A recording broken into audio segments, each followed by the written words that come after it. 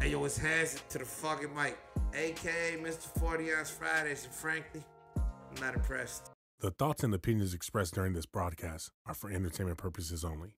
They are not facts. Now enjoy the show. What's the deal? What's the deal? What's the deal? It's episode 40 of the Not Impressed podcast. It's your boy Kane's World. 4PeteSake, And we got a very special guest in the building today. It was only right we did it for episode 40. We got Mr. 40 ounce himself, Hazerd, in the building. Big has. Yeah, it was cracking? How Big doing, fellas? Ontario. You feel me? Hey, One of, the, one of the best freestylers in the fucking game. We were just talking about this shit last Yeah, week. we were. We I were. said I would put this nigga up at top five Top five. I've ever Oh, seen man, I- freestylers. I, appreciate it, man. I'm Top not gonna bro. lie, and I don't. I don't be capping. I'm not bullshitting. You feel me? I'm not lying. Like this nigga for real with the bars. If you haven't checked out his shit, go check out his Instagram. It's I'm a hazard, Hazerd with an E. And Yeah. I'm telling you, this shit fire. I'm telling you, he, make, he makes one. jailhouses, you know, jealous, bro. No, for real. Fucking Got Za- bars. Zanny's jealous. You feel me? Jailhouse is jealous. And this shit is crazy, man. So we really appreciate you coming in for episode 40. And we all got 40s today. Yeah, we do. Hey, we do. there we go. And we don't know, even be in, honor, drinking. in honor of it. We don't even be drinking beer like In that, but we drinking man. 40s, episode We 40. drinking 40s. We almost did Edward Sounds 40 good. hands, you know what I'm We saying? almost did. Cheers, brother. Edward 40 heads. we that did. been hard. We did. We did. All right, fellas, salute, You huh? feel me? So little, let's take a little drink. You feel me? Get this shit cracking. Chug, chug, chug, chug. And we were having a little bit of technical difficulties. He Yes, was just in his story, but he was just telling us how he uh, had a show last night. He actually came straight from the, From the show, show. damn near Yeah. here. Always working. Always you know what working. I'm saying? Man, so so yeah, just real quick. Um, it was uh that boy Estee Nack. Um, he's uh from Lynn, Massachusetts. I guess it's you know Boston or suburb of Boston. hmm Um, he was out here. Uh, I believe this project he just did. It's it's released through Griselda or through Westside Gunn. Okay. You know, is is backing this album with him or something like that. Okay. Okay. Um, so he was there. He was he was he was headlining. Um, then uh, dude Daniel Son. He's from um from Canada. Um, boys got bars. Uh, um, my boy XP the Marksman. Big You know, XP, eight one man. eight eight one eight veteran. You know, Mhm. and then I was I was rocking with my boy VHS. VHS is a producer. Um, he had a beat set, but he was like, "Yo, I just I don't want to stand up here and push buttons for twenty minutes.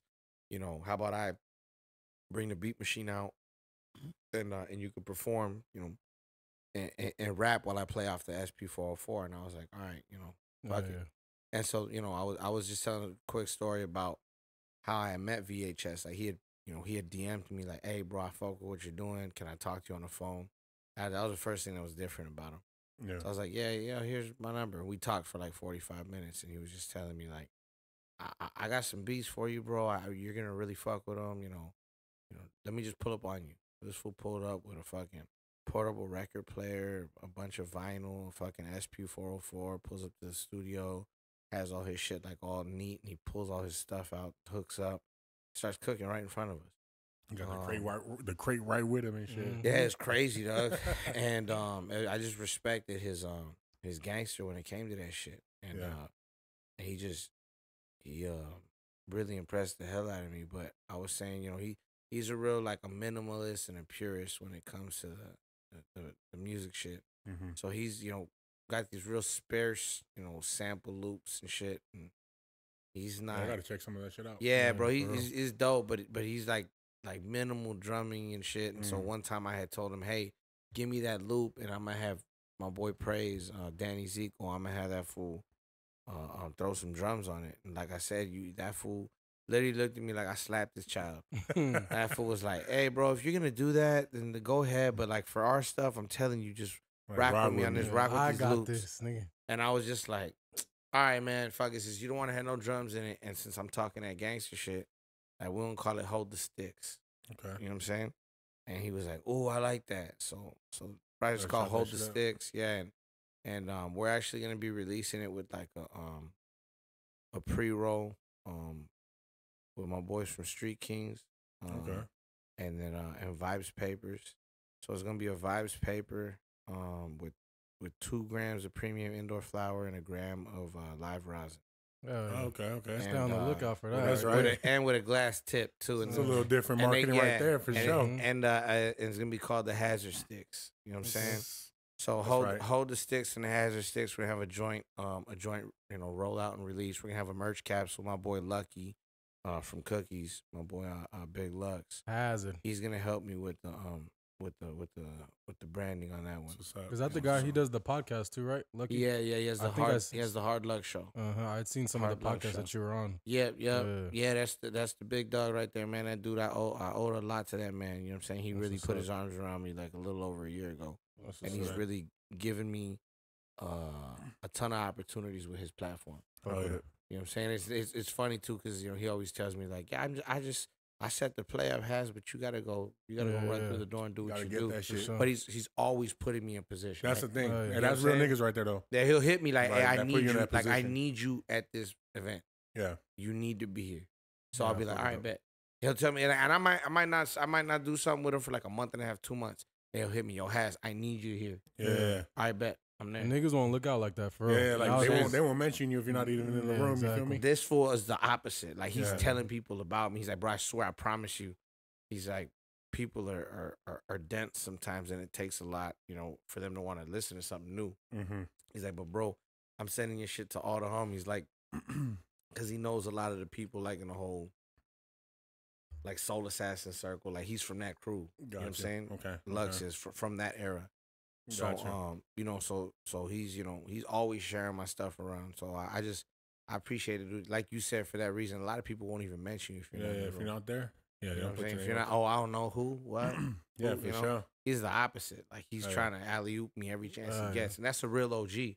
That's why I said it was just his birthday the other day. Happy, happy belated, you know, my boy Big Lux. Oh yeah. Um, but I had, you know, I had posted, you know, like, you know, shout out to this dude right here because in the short time I've known him, you know, we we came at a, a very critical point in my life, you know, like professionally, you know, yeah. and uh, he's helped me just every step of the way. Oh yeah. You know what I'm saying? And it, it went from just being like somebody that was just like a cool connect that we had made, and then like now it's like consider the dude a friend. Yeah, yeah, yeah. You know what I'm saying? So sure, he's a for so he's a good dude, man. Shouts yeah, out shout my boy him. Big Lux, man. Big That's Lucky right. Luciano And out like, Santa Monica. I'm I'm super interested in like how you got connected with the cookies, all that shit. But I really want the the fans and the people who don't know too much about you, you know, Oh, like yeah, let's go to- back. let's go to the beginning. Let's go Sure. to like where you from, like how it was growing up out there, like Uh-huh. how you started and like how you really got into this rap shit. You know what I mean? Yeah, nah, well, you know, I was um uh like my whole family's from East LA. Uh I was born in Montebello.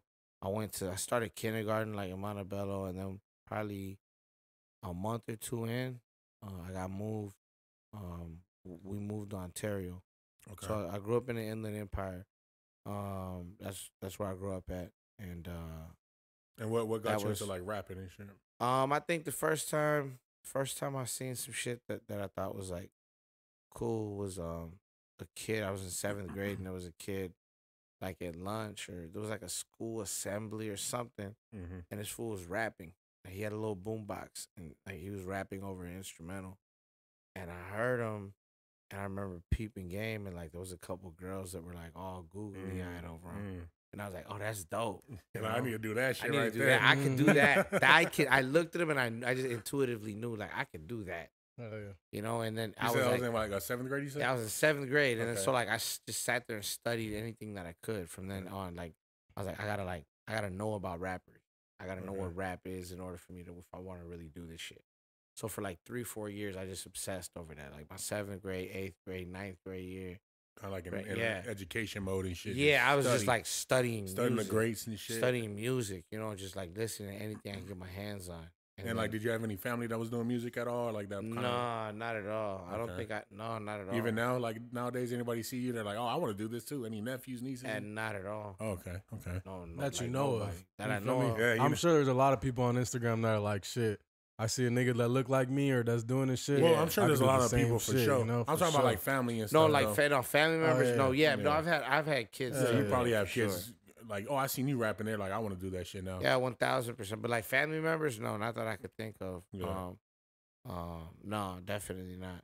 So like I just I, I studied shit, and then like I think when I was a freshman in high school, That's when you started. I tried to actually like actually try to like step out and and rap and shit. And then um I just fell in love with it. And I remember I was mm-hmm. just like freestyling, rhyming, writing stuff down and seeing what I could come up with for like about another year and a half or two years.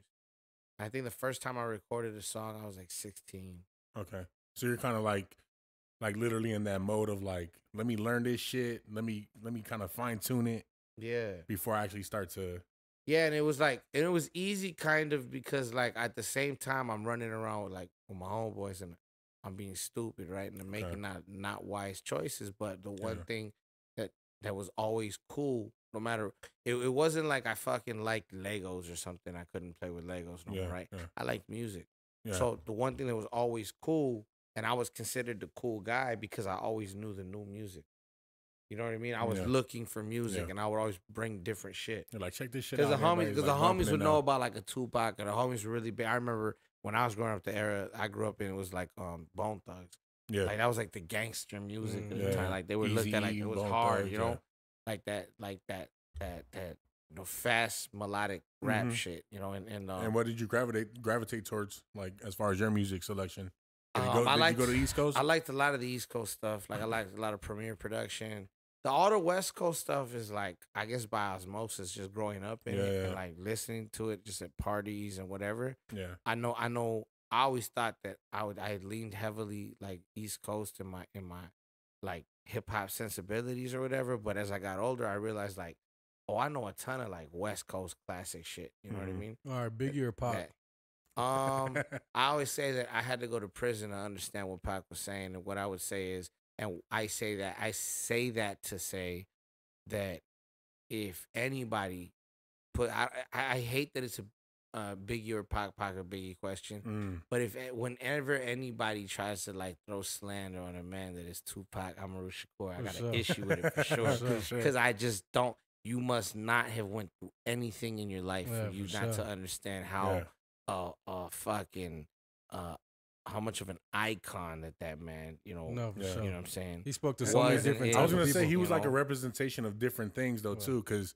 he had his like straight thug shit. You feel me? Yep. But then he had his like let's uplift each other. And then he you had his know? protect the women. protect the women, you know, then he had mean? to fuck the then, bitches. then he had Like- then he had fuck the bitches too right exactly. but but it's like I think that I think that that that that dichotomy and those those internal contradictions is what makes him so endearing because it's like now he wasn't perfect yeah, for sure. Yeah, you understand yeah, what I'm saying? yeah. Like, nah, yeah, he wasn't actually, and and for those imperfections, like we loved him more because he was vulnerable on camera. Like he No, let us sure. know I don't have the answers. All oh, the it's time. artistic. Like the acting I'm shit was crazy too. That shit is wild. And you gotta. And then here's the other thing that I always try to point out too.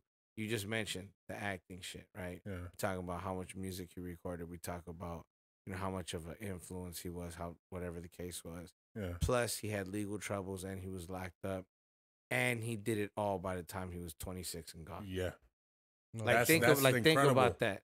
that's crazy. Like think about just- that because yeah, he had a career that like a motherfucker would take fifty years to do. take it Drake, and, and would me? be like, wow, look at look at what Look look, what at this what that. person did. Yeah, like yeah. Drake's still trying to get that, and this Yeah. nigga did that shit in like five years, six years. exactly. It, it, it was and it was over like that. Yeah, Cool. for sure. Yeah. You know what I'm So saying? you so you said that you, no, let's go back a little bit. You said that um you started kind of like getting into the streets essentially. You know what I'm saying? Like yeah, basically. you're running around like you know a little knucklehead and shit. Yeah, Um, what what do you think forced you to do that? You feel me? I think I think it's just because the people that you grow up with, like you go from playing like baseball together, trying to skate, and then somebody comes over and has a sack of weed, Mm, and then and then you go from there to you're uh, going maybe riding your bikes like further than you would have normally because now you're getting a little older. mhm. So then you like ride your bike a little too far, and like all of off a the sudden, porch and shit. Just all of a sudden there's there's kids from another side of town that you've never seen before, and there's Mhm. tension, mm,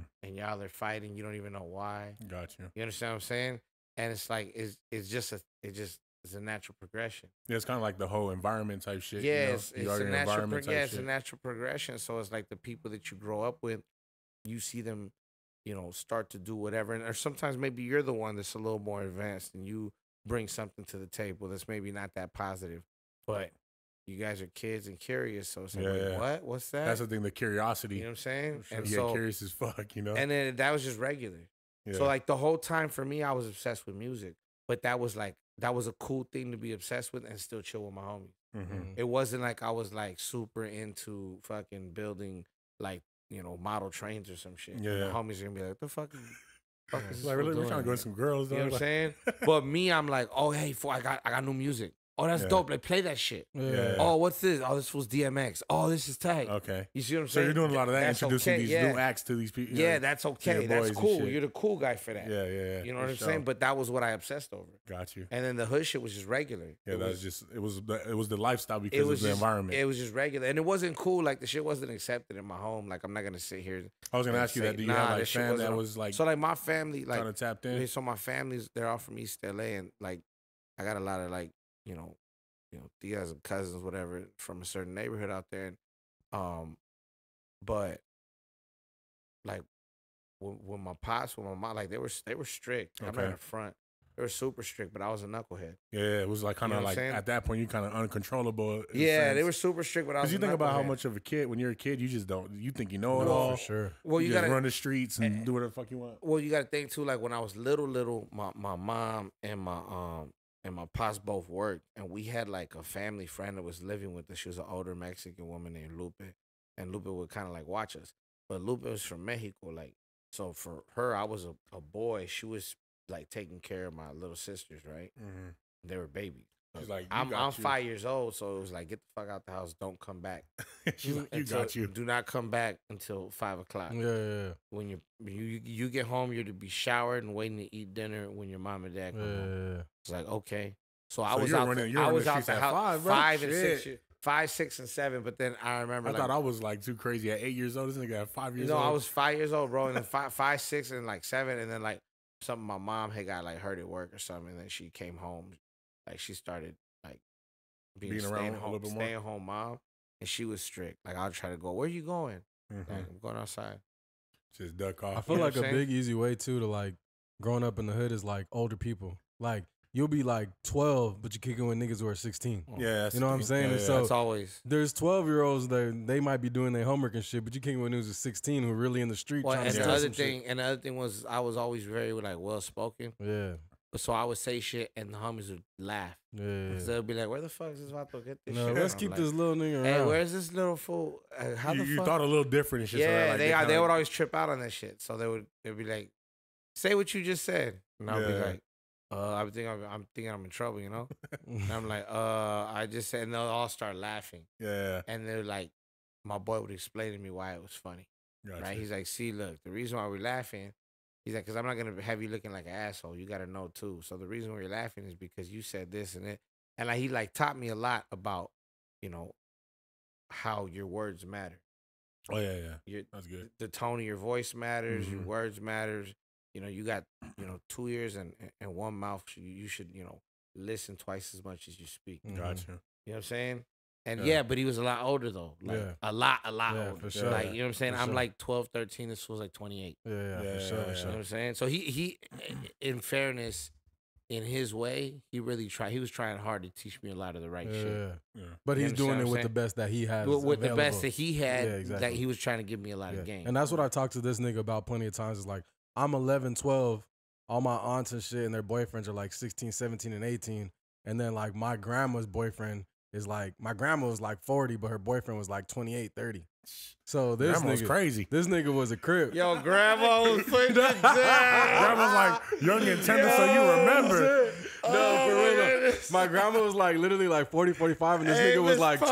Parker. This nigga was like 28, no cap. Like, girl, you look good when you back that thing and, up. and so like I'm already kicking it with my aunts and like their boyfriends and shit. So you guys are getting into. So they're they're smoking weed. Shit. They're stealing from stores. They're stealing radios. They're doing shit. So I'm like, they always wanted to bring me around because I was Right. the one who wouldn't talk too much. You know what I Gotcha. mean? I was the one who could keep it cool yeah. and not say shit. And then my quote unquote grandpa, he was a crip and shit. So these are the people I'm learning from and shit. They're teaching me shit. I'm 11, 12 years old. I'm going over there for the summer. My mom picking me up like, damn, you smell like weed. And I'm just like, Granny was putting it down. that's all this nigga remember. Granny was getting it in. oh shit!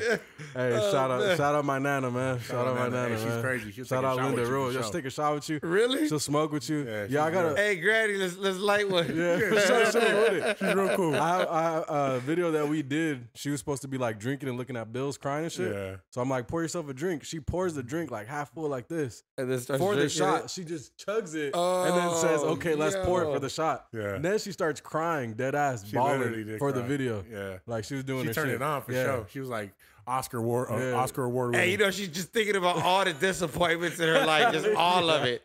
She let all that shit the last 10 years, every bad thing just all No, came out. bro. Now she gonna be cold. She gonna be just cold blooded. No, Watch. for sure, for sure. She's like, Uh, this nigga whack ass song got me So- here.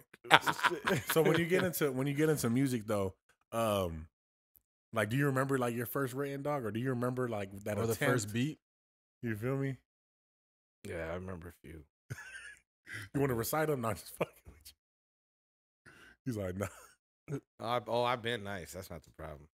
Oh, okay, so you No, I- no, you I- kind of was already coming in with some heat. Yeah, I- on some different From shit. the from the jump, that shit was easy for me. Cause you kind of took a step back and just like learn. You feel me? I, I really I cared about it. yeah, I I, I Yeah. I was saying I was a rapper before I was a rapper. got you, I was a rapper with no rap. got you. I rap. Really? Yeah. he just, hey, they say fake it, you know, fake it till you make it. Because like type me, the shit. first beat I ever did was uh, but this was just like I was like wrote, writing poetry type shit, like Mhm. tenth grade, eleventh grade type shit. What Mm. was that? And beat? uh, it was a uh, Kid Cudi marijuana. oh, really? I don't know why I just randomly started writing to that shit. Really? And, uh, yeah, and I just spit a little. It was like off the little Mead notebook and shit. My boy came into the room. I was like, "Check this shit out, bro." I don't remember what I said, but he was like, "You're good." At that time, you were hitting it. And yeah, was and I just never rapped again for like seven years until I met this nigga, and I was like, you know what's it, let's get it." but no, what's crazy is um from the jump, we were really on some other shit. We we sat down with Fruity Loops, one of the first editions of it. It wasn't FLC. It was Fruity Yeah, Loops. literally. Fruity Loops. Uh, we're on The demo version, or was we're it? on. I, to be honest with y'all, I'd be lying if I told I couldn't tell you. This nigga had that stolen shit. I definitely we had were- the demo version. we were on for we were on Fruity Loops, and my boy made the beat, and then we sat there and wrote raps. I wrote a hook for it, and then um, we actually like recorded it. And hearing my voice back for the first time, I was like hooked. As soon as you heard it, I was like, oh, because usually tight. people hear their voice, they're like, "Shit." yeah, for sure. For a while, this nigga. For couldn't- me, I was trying to get my my voice right, get my lane would- Yeah. shit. he would like, "Hey, turn off the headphones," type shit. Oh yeah, know? at first I was like, I don't want to hear myself feedback. But Yeah, I you- feel like that's most people. At first, they don't want to hear the feedback because it kind of almost like an echo. yeah, yeah. but once you get the practice with it and you get it, you're like, okay, that's Yeah, necessary. I need Yeah. to hear that shit. so you guys put together a record at what age? You say? I was like 16, Okay. 16. So you said from twelve is where you kind of like got introduced to it, Yeah. and then up and so it's like four years, just kind of like in the cut, writing rhymes. Yep. Okay. Yeah, and I was just like I was addicted though. Like I, I was. We would. I remember we would like sit. The way I kind of got my workflow, like having to accomplish it when when we're when we're working, was because my boy would come in. I think we were using like a demo version. It would be the full version, but you could only open it three times or some shit like that. Oh yeah. Mhm. You know what I'm saying? So, so we would have to come in. He would have to make whatever he could make, you know, beat wise, right? If he could make one, two, or three beats, whatever. But I think sometimes you could only export maybe like three or whatever. Mm-hmm.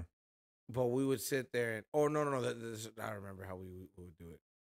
It was bootleg as hell. We would we have we had a computer mic and we had the speakers pointed towards the computer mic Oh, and we were rapping. record that shit yeah, like that, bro. Yeah, like, yeah, and and so we had to do it live. So and I would use sound recorder. So you had to be fucking like perfect, right? Oh, straight up Windows sound recorder Yeah, shit. I remember that.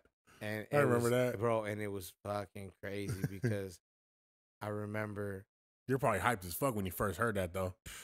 we we would record maybe like we would record like a whole EP like in a day, Shit. right? Making beats and then we record and then bounce that one, then make another beat, re- record yeah. over that. Oh, yeah. But I'm like, we're talking about full writing, then recording the whole thing. Yeah. and that was how I, that was how I started developing like my my my creating style Yeah. because I had to be quick with That work ethic right there. I had to be like real quick with it, you know. And I, I realized also that if I was reading it off the paper, it didn't sound the same. Mm. So I had to learn how to like I would write my rhymes down so I wouldn't forget them. But I would like read the paper. I would read Mhm. the paper and then I'll like recite it away. So Uh, that by the time it was uh, my turn to actually go, I'm, I would just have just the paper just in case like I you know Mhm. needed a reference. But I I wouldn't read off the paper. It gives it a different feeling too. So No, for sometimes sure. when for you're me, like, for sure. like when you're when you're when you're reciting that shit, you can get to that read mode Yeah. compared to just freely, like freely, kind of like letting that shit come through you. It's, Yeah. it's definitely different. Yeah, absolutely. It's definitely different. Um, I wanted to ask you, um, talk about your first written. You didn't really go into it, but you you did you thought it was hard. I thought it was dope. I, yeah. I Do you still so. have? Do you have any of those old records like sitting somewhere? In the, I don't think I have any of the CDs left. No, that, I'm like, that I'm would, like, we got to pull up the archives. I don't think I don't think I have any. Nigga had that shit on CD, homie. Yeah, I You ain't got nowhere to play it. Yeah, fuck, I know, right? Where you fucking play that bitch at? I don't even know. Hey, but I know that I know it could get deep, and there's a lot of you know politics and whatnot and shit that goes into it. But you know, there's a lot of people that listen to this and shit that kind of go through the same kind of things we go through, you know, or that you go through and shit like that. And is there is there anything you could share with us when it comes to like, you know, some of the trials and tribulations or some of the the shit that that kind of stuck with you when you did go to prison? Because you said you did do some time, you know, in the past. Like, is there anything that you could like share with the people? Maybe if even there's somebody out here watching that's just like, I want to do something more, but this is where I came from, and they don't think they could kind of elevate, and they just want to, you know, maybe connect with you and and understand. Yeah, so um I would say probably the toughest thing I think was one having to have a sense of accountability. You know, I don't care how bad um you feel like maybe you got the raw end of a deal, like with a case or whatever the case is. Mm. Um, like ultimately, you know, seventy percent of the time, if you go all the way through and you're found guilty and you're going to do the time, even if maybe you're not guilty of exactly what they said you did, you were doing something like kind of morally wrong. Most Yeah, likely, right? Most likely, you know, allegedly. seventy percent. And I'm saying if you're guilty and Yeah, actually, you know, you you you you know, cop to it, whatever the case is, right? You plead it out, whatever, because you knew in some in some way you were kind Yeah, of yeah. you're kind of guilty, right? Um, so the first thing I would say is like that self accountability. Like, all right, yeah, I I've made some choices that have kind of put me here. Even Yeah. if somebody else maybe set me up or did me dirty or told on me, whatever the case is, forget all of that. Yeah, I made certain decisions that ultimately landed me here. Mhm. All right, cool. accountability And for sure. and I, you know, and and I now want to change my life Yeah, for for the sure. better for me. Mhm. And the reason why you can't do it for, you shouldn't do it for a family member or whatever the case is, is I had this dude tell me this. He had um, he was running amok. He was like a real fool in his neighborhood. His wife got pregnant, had a uh, baby boy. He was like overjoyed about it, and he just walked away from his neighborhood. He's like, "Hey, bro, I gotta go raise this kid. Like, this is the most important thing I've ever done." and I can't do it here. I'm sorry. I'm not gonna lie to you guys. I'm done. Left the hood and like went to go raise his son, live all quietly whatever the case is, working, you know, working a job, whole 9 Mhm. And then uh he uh woke up one morning and his son was blue. He had passed away. oh shit. And instantly the whole reason for him to have had his whole life changed gone. was gone. He went right back to the hood. He said literally like he walked out the house and just went to his Went hood. right to the block. And then like he was on a on a crazy one for like a year and a half, and then he got popped again. And then he was like the calmest dude in there, and he was like, you know, yeah. at that point, you know. And I was talking to him about it, and he had because I told him like, you know, I got a I got a baby, and I got to try to do right, and blah blah. And he looked at me, he was like, Nah, no disrespect, youngster, but you ain't gonna.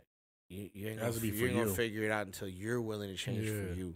Yeah. That's a You know, so that's a really Real long, shit, long-winded way of saying like you got to take accountability for whatever might have happened in your life Mm-hmm. that didn't that didn't go right because of your actions. It don't matter how bad of a hand you had. Like at certain points, you were faced with choices, even if they were really difficult ones. You, you still had choices, right? Oh yeah. And that comes with everything, whether it be. And that- whether it be cases. That's That's- pretty much everything. That's life, right? Yeah. And so, so what I would say more than anything else is like, okay, I'm I'm past it. I'm not mad at the world no more. I, I my my freedom and my my peace of mind is more important than Mhm. like holding a petty grudge or whatever the case is. Yes, sir. And then you know just push forward. Um, Yeah, that kind of it's be not gonna be that. easy, bro. You gotta, and I'm gonna be real.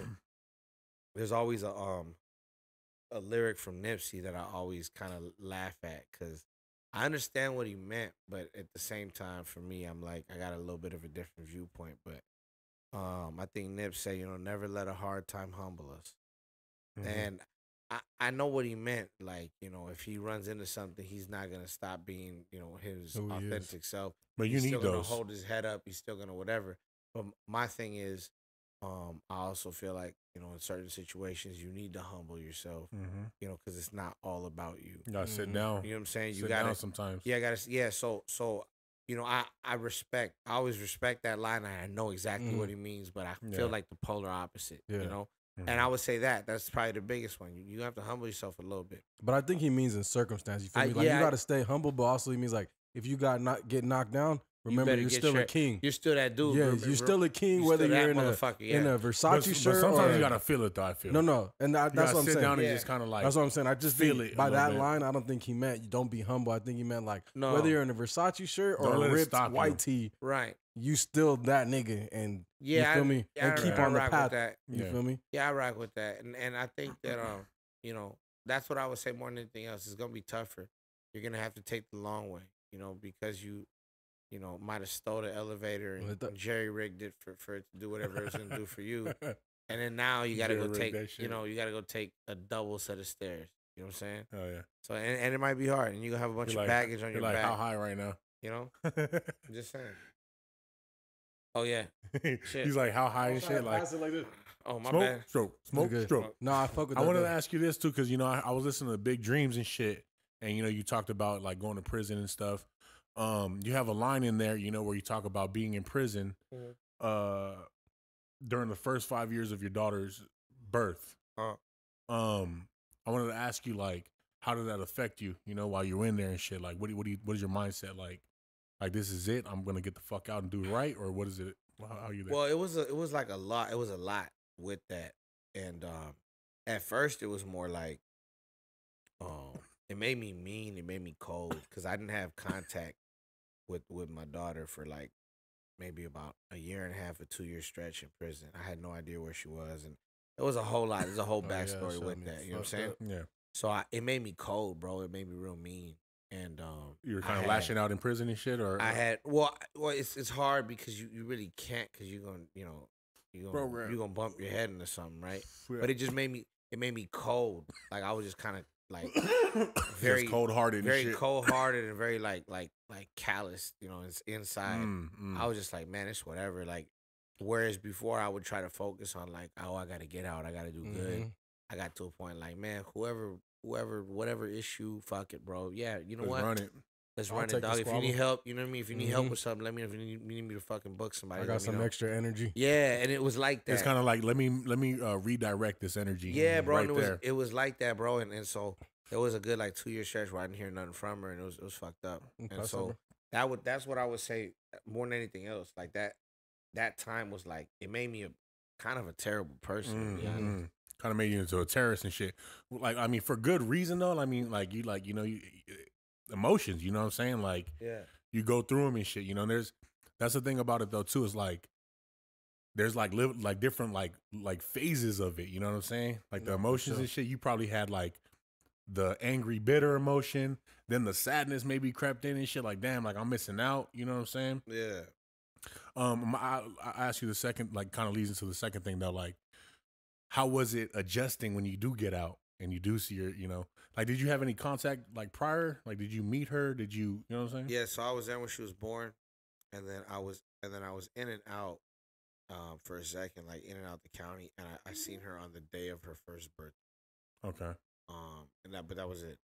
No, no other holidays or no other birthdays. So, Mhm. For like another four years. yeah, till she turned six. But um, so I had I had um I did have you know some contact with her, whatever, you know, those those few limited times, and then what happened was um, you're saying how how was it adjusted when I came home, right? Yeah. How did you adjust? Like, like, like, was it difficult to like now like mend that relationship? Like, like, is there that instant love? Like, you know what I'm saying? Like, sip on sip on it, bro. Hit it a couple Yeah, times. Is But- it like is it like an instant? You know what I'm saying? Like like I, I could feel that there could be like a disconnect. You know when it when when like a parent's gone and then all of a sudden they pop back up type shit. You know like But before you answer, I want to know with that situation particularly, how was it reconnecting, and then also with life in general, like how was it yeah yeah, yeah exactly. reacclimating to to life? reaccustoming and shit. I'm Like gonna tell you. I'll tell you three stories. So the first one with my daughter, um, when I when I came home, shit, I had like kind of there was like I said there was a lot to it. Um, but basically, I had ended up having the opportunity to kind of work some magic from behind bars, and I was able to get in. Once I got in touch with the courts, Bring the um, mic a little bit closer to him. like this, yeah, like this. Okay, yeah, you good. So once I got in touch with the courts, um, I was able to kind of speak with a caseworker and um, understand the situation. And once I once I did that, I was able to figure out um, what I could do for my daughter um, While being incarcerated. while being incarcerated because she was kind of technically a ward of the state like when she was like four years old. So I ended up kind of having some conversations and whatnot, and then um, my daughter ended up going into a uh, a temporary guardianship with my mother. Okay. So when I when I came home, I had I had mind you I hadn't been living with my mom in, in, in a lot of years. I was in prison, and before that I had moved out young. So, but you know, my mom had helped me, and she had gotten guardianship with my daughter. So I came like home. You know what I'm saying? To I paroled to my mother's house, and the, in the morning, uh, the morning that I finally left, um, I had a razor blade in my waistband because I was going to court and I didn't know anybody, and so I had like a razor blade in case you know Just ready. in case we had an issue or something. And um, I uh, that night I uh, was home getting my daughter ready so she could take a bath. Okay. You know what I mean? I had a, I had a razor blade in my waistband in the morning, and that night I get my daughter ready.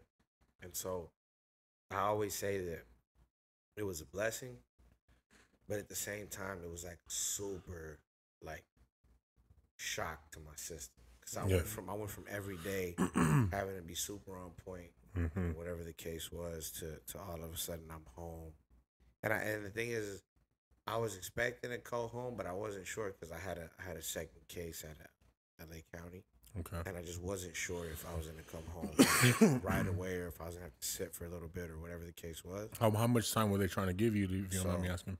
Well, so I had been I had been sitting for five already, and I had this old case, so it was kind of a tricky thing because technically it was an old case, but it mm-hmm. would have been my third strike under the California three strike law. Shit. So at first, at first, like the first offer or whatever was something like, well, since this is a third strike, I knew he was gonna read the case file kind of wrong. But He's like, well, since it's a three strike case, the only offer I'm willing to give him is thirty with no L. Shit. I'm saying he was like, he was like, Damn. he was like, I can't imagine hearing that 30 shit. years no L, and he goes, or he goes, or we can go to trial, and I'm seeking life. Damn. You know, he said LWOP, you know, life without the possibility of parole. Fucking A. So that was his first then, but he didn't read the case file. The, the, the case was from before I had gotten my second strike, so it's Mhm. kind of this weird thing. Mm. Um, but still, like he was trying to push it first. Like he was talking, he was saying, if not, we could just go to trials. It's a three strike case. We could strike him out. So That's what they're looking for. It's like a baseball Mhm. game to them and shit. Like yeah.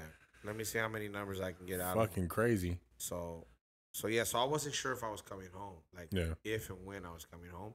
So it really was kind of a culture shock. Like, uh, in the morning, like I said, I got a razor blade in my in, my, in the waistband of my, my pants to go to court, hmm and then that evening I'm sitting with my daughter. Yeah, that's that's kind of like a crazy You know what I'm saying? comparison and shit right sure. there. Because you go from being like this hard, kind of like I gotta be on my on Just, point, just in case. so now shit. you're going to this like nurturing, Yeah. you know, with a daughter. Like, because you know, like I don't have kids, bro, but I have a lot of nieces and nephews, and Yeah. with my niece, you know, you're like a lot more softer.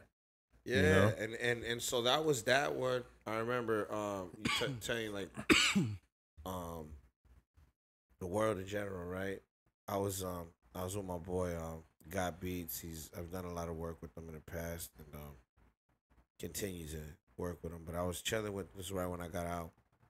We're at a gas station, grabbing like some drinks or whatever. Um, we're getting like I think we're getting some like energy drinks and like maybe a case of some kind of beer or something. We're standing in line, and uh, the two registers open. One of the clerks goes, you know, he points at me, waves me over. So I go, but then there was another gentleman that I guess he the, He the thought he clerk next. clerk didn't realize that he was in line. Uh. he thought he was standing looking at something still. Mm. So then he cuts me off. He's like, "Yeah, you don't see me standing here." And I'm oh like, shit, and I was like, I was like, "Hey man," he um, man. you know, he pointed at me, and then he goes, he goes, "Well, I told." He said, "Well, you see me standing here," and I was like, you just have to suppress that shit right there. "Well, I, I, I'll never forget it." I literally went like that. I closed my eyes and I was like, He did that woosah real quick. Mm-hmm. Just and I'll never forget that the gentleman goes, "Hey, hey, man, I'm, I'm I'm sorry. I, I didn't mean nothing by it." uh, Just like that, he got like real quiet, and I know my my boy told me after he said that my eyes went like black. I just looked at. He Shit. said he goes, bro, that shit was scary as fuck. He goes, what the hell? You look like you had he the, straight turned to you look like you had the just devil in you, bro. My boy Warren told me this shit. He's like, Got Hey, you look like possessed you had- right there, bro. and I just remember, I remember thinking like, oh, this is different out here. Yeah. Like people, people are gonna offhandedly be disrespectful. Yeah, yeah. Mhm. They're just gonna do it because that's their that's their That's standard protocol. Going when inside, these niggas are trying to disrespect because they're trying to I'm saying? squabble, trying to get Yeah, it's like no, you if you in there, you don't do that. There's a lot of respect from Because my it'll cause a, it'll cause you you are gonna cause a three hundred man war. No, Yeah, not- yeah. It ain't no one on one nothing. no, for sure. for sure. Nobody's nobody's giving no heads up in there. Yeah. Period. Yeah, for sure, You're gonna for go start a three hundred man rumble. So You know you what I'm saying? to- So you you got to be. Excuse me. Thank you. It's very courteous. Everybody says respect. I always say courtesy. Yeah, I say yeah. that jail and prison is about you know personal space and courtesy where you Yeah. where you can allow it, and that little bit of courtesy is is so paramount and important that people equate it to actual respect or disrespect. You know what I mean? Yeah. Like you bumped me and didn't say excuse me. Yeah, Mm. Oh, so you think I'm a bitch? pretty Yeah. much. Okay, yeah. I'm a fucking punk, huh? Cause Yeah. oh, okay, all right. You see what I'm saying? Yeah, so it's like, for sure. so it's it's it's ta- it's escalated all the way there.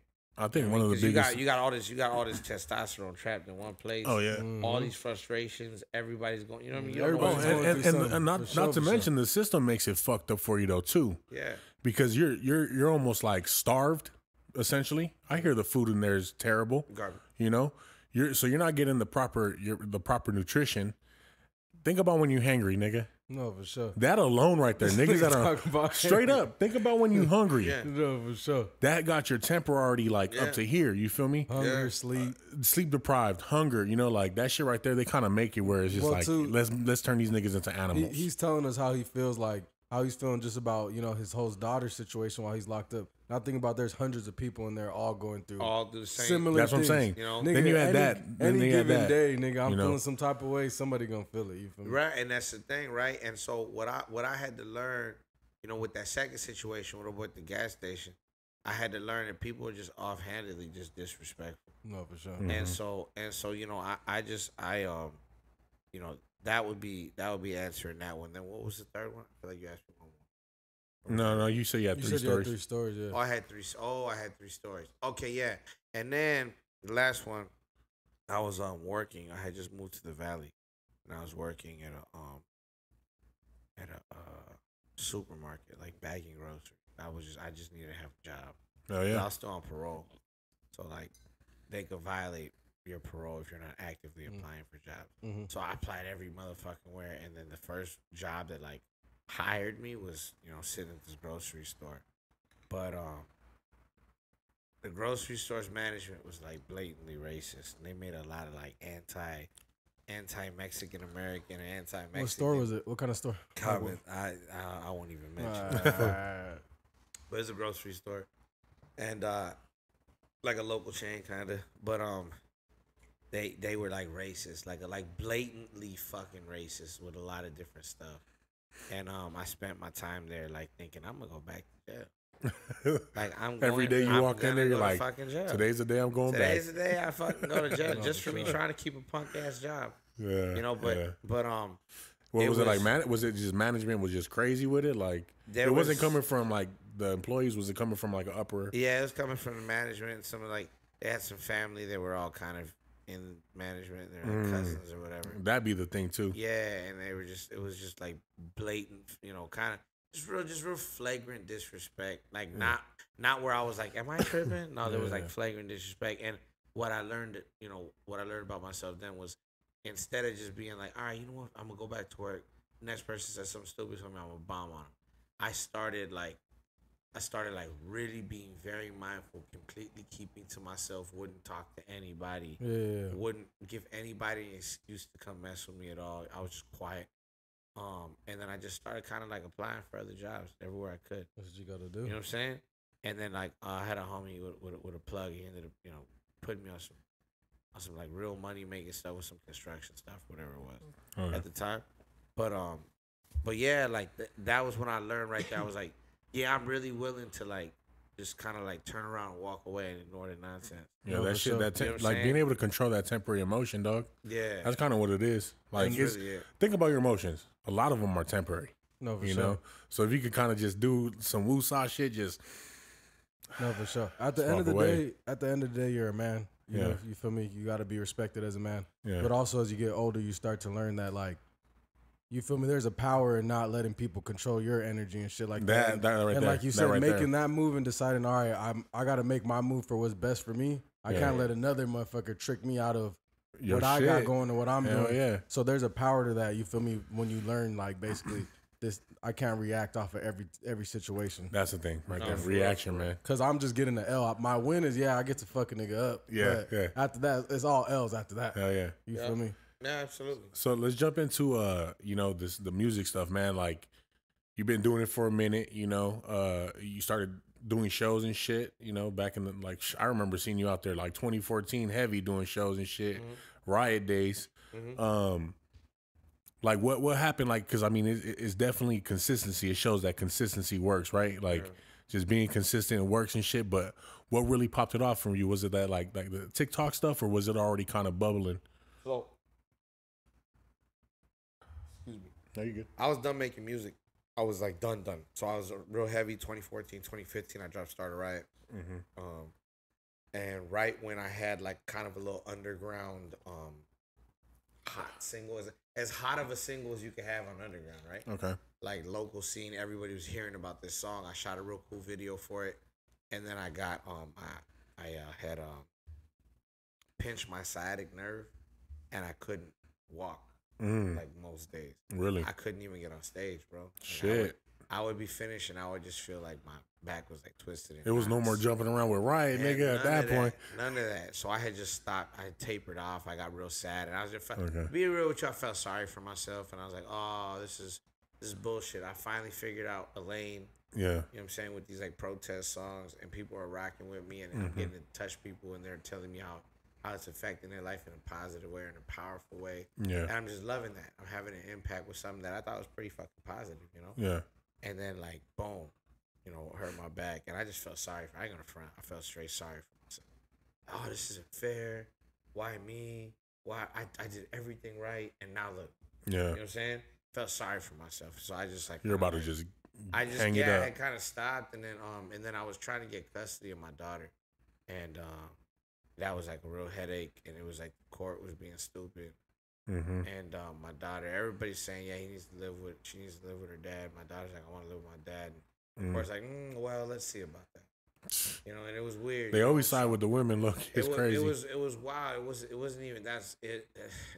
The whole story was wild. But that being said, um, I ended up, you know, with custody of my daughter, and, and when I got custody of her, my boy um, Urban from All Angles was like, "Hey, bro, I got some beats, bro. Like, I made some stuff. I need you to rap on these beats." And I was like, "But I'm not, I'm not even rapping like that." They nah, come on, man. I got these beats. Come on. So he came through and showed me a bunch of beats and shit, and I was like, "Oh, this is tight." I had to, I had the itch. I was like, "Oh, I want to record." Went to his went to his pad. I was recording in his room. We recorded like eight, ten songs, something like that. This is hard, fool, but like kind of just kind of like re re spark that shit for yeah, you. but I, I but I told him, look, this is all hard, bro. I love this shit, but like, we're not gonna get nowhere with it because I don't have a fan base. I keep doing the same thing over and over. Mm, mm. I don't got this fan base, bro. So I said, hey, let's start doing. Let's do something like, you know, you know what? I had this one video where I was like blackout drunk and the homie Praise's apartment. Oh Danny yeah. Zico. Oh yeah. And they had like done numbers for me on Facebook. Shout Facebook, out, like, shout out Mitch right there. Shout out Mitch, man. too. Mitch boy right there Bunny too. Mitch, my boy Bunny Mitch. I met Mitch video through with my boy right here. Yeah. Cool nigga for yeah, sure. man. R.I.P. Rest in Mitch. R.I.P. peace, Mitch, man. Yeah. Sure. Uh, I miss Mitchell for real, man. For And- real. And so the thing was, was um that video had done kind of well for me. So I thought, what if we did that every week? I'll drink a forty of Mickey's, and I will call it. 40 Oh, is that ounce what really popped it off? Yeah. That's crazy. I said, let's do this, and we'll do like a weekly. We'll do like a weekly, and then and then it'll promote like me, and more people will pay attention. Then we'll drop a project. And he was Mm. like, okay, bet. Man, we still ain't put out the fucking music. God bless Urban, man. He never he never bothers me about it. But he's- I still got unreleased shit with him. That's heat. And it's not it's not that the music's not good, but I just feel like I really feel like that dude helped me so much that I want to release that when I have like a real crazy platform. This way that man can eat. You know what I'm Gotcha, saying? Like gotcha. I want I want my boy to be able You're like, let me eat. keep on getting this Yeah, you know. in And the so- eyes. yeah, you know. So so that being said, um, you know, we started forty ounce Fridays, and then it just took off. It started like it, it had like a, a, a life of its own, and it was small still. You know, I think when we started forty ounce Fridays, I was like, I had less than a thousand followers and I maybe maybe seven eight hundred followers. So that video that you had dropped on on TikTok that went viral, Uh huh. you had dropped that previously On Facebook, on Facebook, and it did numbers. it did numbers. I think it did like fifteen k on a personal page. Okay, Somebody had picked it up. It had done like fifty k. but that kind of just set off like, okay, let's do the forty ounce Yeah. Fridays. So so then um we were doing it for like two and a half, almost three years. Uh, forty ounce Fridays, like two and a half, Yeah, yeah, almost yeah. three Oh, yeah. years. And then my buddy was telling me, bro, you need to be on TikTok. You need to be on TikTok. Mm. I'm like, the fuck I'm gonna do on TikTok, bro? I don't, I don't fucking, you know, I I don't, don't know this shit. shit. This nigga. I don't dance and shit, you know. And he's just like, he's like, Oh, for sure. you know, he's like, well, nah, if you put up your videos of you rapping, like they'll do well. Nah, I thought he was out of his fucking mind. So I put one up and it did fucking kind of well. Like it got like 50,000 views and like, you know, thousand some likes and hundreds of comments. And I was like, Mhm. Did Oh, you? I think it was like a make it clap or was it the I did the, yeah, Soldier Boy. She made Soldier Boy make it clap? I Yeah. did that one. Banger. And then, and then I put up like two, three more. And then I was like, you know what? I should put up that one video that went crazy for me on Facebook. Yeah, And then, bro. The, one of the lines in there, man, pesky rabbit, all that shit, Mm-hmm. Yeah. crazy. yeah, so I put that bitch up and it was gone, bro. Yeah. was, I'll never Yeah. forget. Just I was like, yo, I think I might have hit jackpot. Yeah, We did. I posted something that afternoon, and by midnight that night, it had like a million views. You remember that bar? The pesky rabbit bar? Fuck a wascally wabbit. I kill a whack wapper and tax him for his bank account. It's looking like I'm raps past that's right. That I knew this nigga was gonna know it. He be having that shit at like an encyclopedia. For sure. Right now, he had like a little minion in there. Uh, I knew he was gonna have that Read that shit. Yeah, that shit Yeah, hard. so it's like it's, it's like it was, and it was luck, bro. Like it really was. It was. It was consistency Yeah, though, you know. sure. Like, yeah, because then I had I was able to take advantage of being lucky. You know what I'm saying? yeah, But but I was definitely lucky. Like it was it was just dumb luck. Yeah, but even when that happened, you had like 160 fucking episodes already of the 40 ounce Fridays. Yeah, Yeah, And so yeah, yeah. exactly. So it's like that's what I'm saying. I was I was ready to take advantage of that luck. yeah, you yeah. know, yeah. and, and that was where that was where I was able to really kind of push. Oh. Um and and um you know, I definitely was lucky because I still to this day I like I sometimes trip out like how the hell you know what I mean? Like, how the hell did shit even happen? Like I don't my none of my stuff fits their algorithm. Yeah. Like I've been I've violated so many like guidelines so many Oh yeah. times. I'm, TikTok guidelines, I'm bullshit, like, some shit. bruh, come on, man. You know what I'm saying? I sure. I don't you know I don't go live over there a lot. Like Yeah, yeah. I've done everything that they say not to do. No, Yeah, we were yeah. just talking Yeah. about that shit recently too. I was saying that like part of blowing up, honestly, it, it is hard work, it is consistency, but A lot of it's this luck. Like For certain sure. niggas, like niggas don't just become Drake because there's, there's a lot of niggas that are making music in Toronto that Yeah. didn't get that. You Yeah, feel yeah, me? yeah. Like that are never gonna. When see we were talking about the that level. fighters and shit, you know, they Yeah. put in a lot of work, 6 a.m. getting up. Yep. They still don't get that big fight. for you know, they still ain't fighting Floyd Mayweather. You know it's what like saying? all about the just where you happen to end up at the right time. yeah. shit just His timing, you know what I mean? His timing too. There's all that. I think I think if you do it long enough, it's oh, that's also the other thing. True. You got to stay in it. For sure. If you do it long enough, and a you marathon if you, for if sure. You really are if you really are good though. That matters. Like I don't care what anybody Oh, says. yeah, that yeah, fucking yeah, matters. yeah, yeah, for if sure, you do sure. it long enough and you have like that baseline level of goodness to Yeah, what you the fuck yeah. you do, you're gonna get a chance. There's gonna be some point where the timing will line up. Yeah. The mm. only reason timing won't line up is if you're not consistent. So maybe during one of your break periods, some shit was really popping that you could have took advantage of, right? Mm-hmm. Yeah. I mean, It's either that or like you're fucking up. Like it's usually drugs. And if you keep doing it, I you're- keep it. You know what I'm saying? I keep it a bug. It's No, usually sure. drugs. Yeah, yeah. You know what I'm saying? Substance, man. Substance fuck Sub- people up. substances, you know, will, will fuck people up. So, you know, that's what I've realized though. If you do this shit long enough, bro, now because now hip hop's getting older, right? We just we're celebrating 50 years this year. What do you think about the state of hip hop? Because So I heard it's not on the top charts. I think well, that's just like that's commercial. There's there's not been a commercial release that's charted on Billboard, right? That's what I hear. Yeah. Yeah, I think it's because people are trying to chase a TikTok trend. They're trying to Mm, chase a trending sound instead of just focusing on the music. Yeah. yeah. Like a lot of people, you know, they say they love Thriller. Oh, look how many Grammys it won. Look how many units it sold. But go listen to the album. It's a whole. It's a classic. There's no yeah. skips. Yeah. The actual album is good. So I think people need to fall back in love with That's what I was thinking. music. yeah, good music. That's Yeah. well, I- you say good music. I was gonna mention, you know, crazy ass Kanye. Like the one thing that stands out with Kanye and shit, like, okay, yeah, maybe like the Pablo album to me is not the greatest, you know? Yeah. But he's still innovative and searching for new sound. No, he, always, for oh, he sure. cares You about know? the music. Yeah, yeah. Like the Donda album, if you hear that album, it's not like any other album you've ever heard. You Yeah, understand? fact. And that's the thing. Like I've been thinking about it because you know, like I even me, like as a producer, I get caught up in the same trends and same piano loops and this, that, and the third. But it's like, hey, bro, search for that new, Yeah, that new that shit. new sound. because that's what niggas is looking for. When You they know? look up type beat, they're not looking for fucking Right.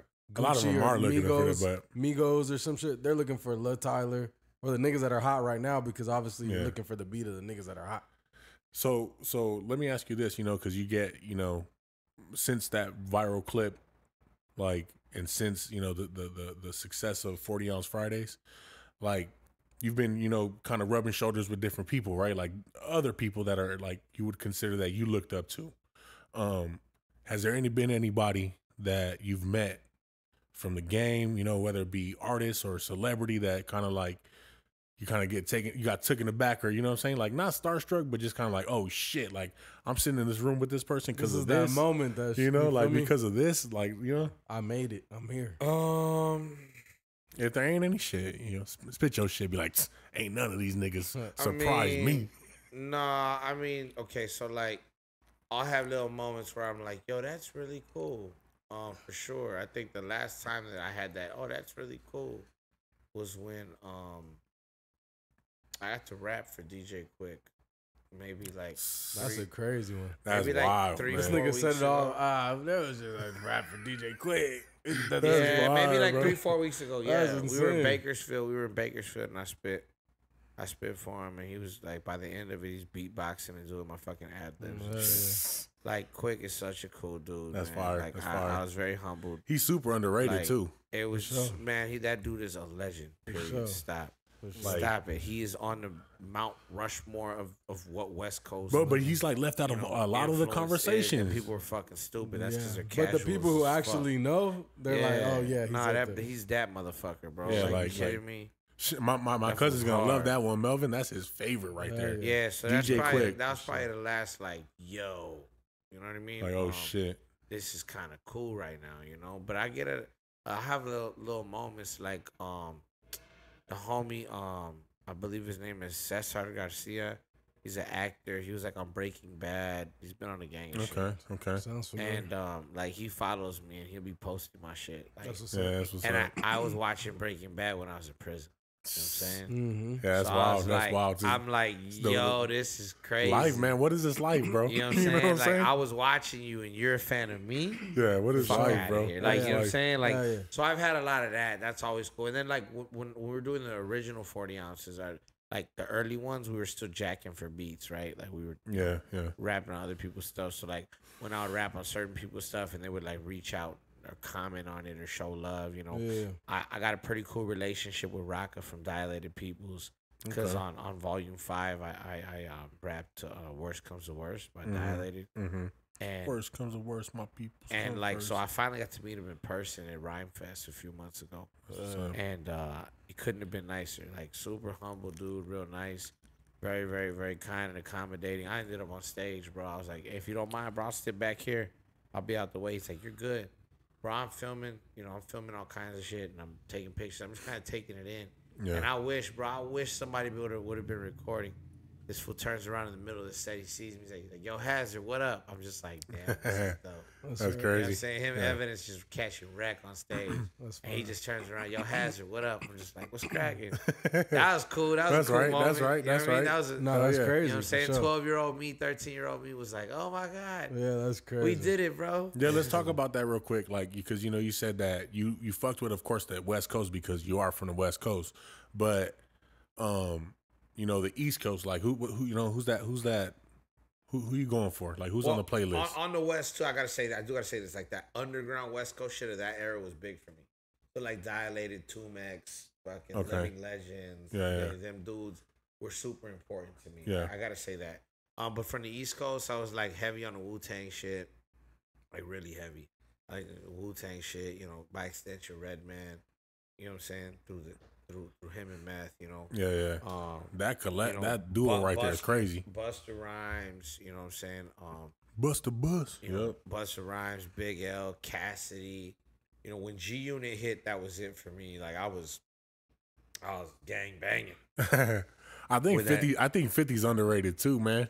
As an artist, bro, as a lyricist, That listen to a- some of the bars. 50? That dude's a Oh, songwriter. out of the fucking Listen park. to some of the bars, bro. Like That shit's that crazy. fool's a, such a songwriter. You know what I'm saying? But, um, yeah, I was like really going up to to you know beg for mercy, G Unit beg for mercy, hmm and then um, you know, um.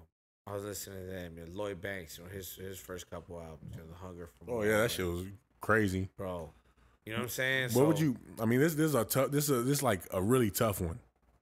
It's hard to put people in a box, right? It's so small. But who is your top like three, like like lyricists? Oh man, I don't know, man. That's that's tough. It's like super tough to get yeah, that one. like lyricists. I don't, fuck, I don't know. Let's just say rappers Nas, at you gotta Who's put your Nas. Nas, cause fuck, man, these last four albums that he's done as a, as an older gentleman, a more mature gentleman, is crazy. The fact that he's having like a third prime of his career is stupid. Mm, mm. Nas, Nas, Yeah, he got- Nas he- has to be on. going there, crazy. man.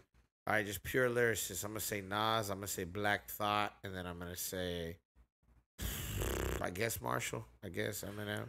Hey, I have to, like, I had- like, that That's man- crazy. He did, That, but that man, that man's like. it was funny because I was so like, much, I was like, if he puts M on there, for meant his so show, much to you know what I'm saying. So meant look, this is my to- thing with M. I to- fuck with M. I think M is one of the craziest rappers ever. He could rhyme orange with door hinge. Yeah, You know what I'm saying? yeah, like yeah, yeah. the Four nigga- inch, you yeah. feel me?